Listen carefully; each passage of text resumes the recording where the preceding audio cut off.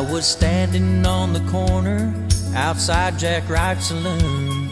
Saw a crowd of people, sensed impending doom. A Brown County deputy by the name of Charlie Webb fired a shot at Wes Hardin. Now the deputy is dead. Poor John Wesley Hardin is the master of the gun. Some say a stone cold killer, outlaw on the run. He fled to Round Mountain, Texas Rangers on his trail. Back in Comanche, upheaval still prevailed. Some wanted justice, others sought revenge.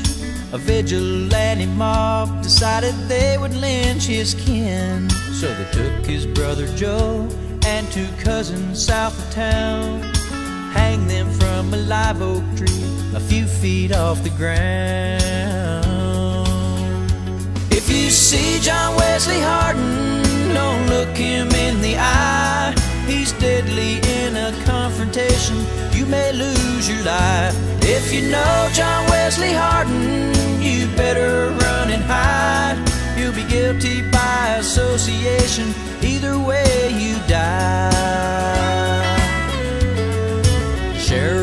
and his posse traveled ten miles north of town.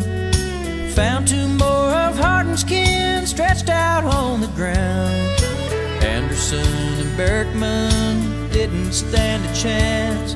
Were the desperados, cattle thieves, or victims of circumstance? Really didn't matter for friend and foe alike. Seemed to meet with the grim reaper that stayed at Wes Hardin's side.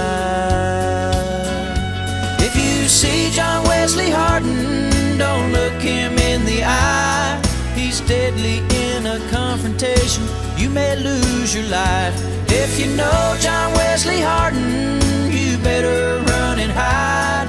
You'll be guilty by association. Either way, you die.